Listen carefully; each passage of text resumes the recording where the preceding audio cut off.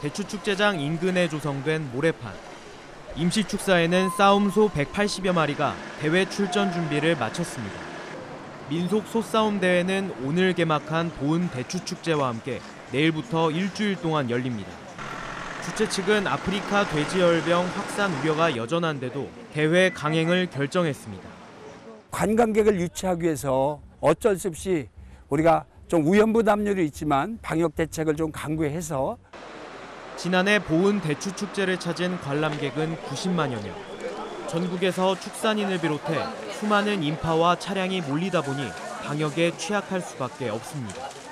아프리카 돼지열병 확산에 대한 우려의 목소리가 나오는 가운데 경남 진주와 창원, 전북 정읍의 경우 소싸움 대회를 전격적으로 취소했습니다.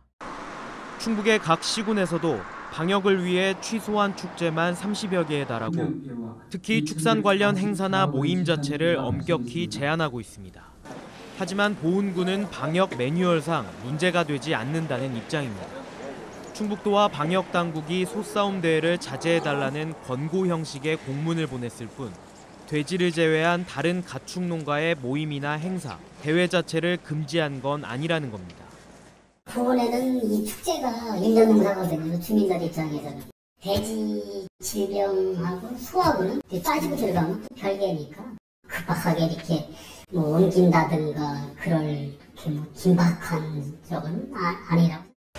전국이 방역에 사활을 걸고 있는 상황에서 열리는 소싸움 대회. 하지만 양돈 농가들은 마음을 졸이며 아무 탈 없기만을 바라야 하는 불편한 축제가 되고 있습니다. KBS 뉴스 이규명입니다.